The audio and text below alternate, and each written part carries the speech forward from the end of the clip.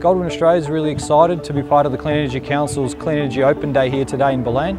It's fantastic that the wind farm's been able to open its doors for the local community and for people to get up close and personal to the turbines. We again look forward to hosting a similar event once the wind farm is fully operational at the end of the project. Just a great opportunity to actually go inside the, the tower and have a look and learn about all the construction elements and the, the scale of it. It's fabulous. All our learning has been like book learning and written and talking, but now we actually get to look at a wind turbine and even go inside one. I think the wind farm is fantastic. It's on a global scale, it's, it's really important facet of combating climate change. And I think the more people know about them, um, the greater understanding people will have. It's just fantastic for the local economy.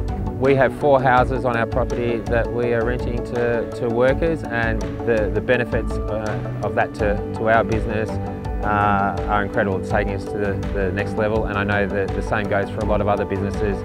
And then the flow-on effect to the whole town's economy is amazing. It's great. It's fantastic to be here out at the Moorabool Wind Farm as part of Clean Energy Open Day. Uh, dozens of renewable energy projects around the country are open today with hundreds and hundreds of people from local communities and around the country coming on site to have a look at these incredible projects that are either under construction or in operation.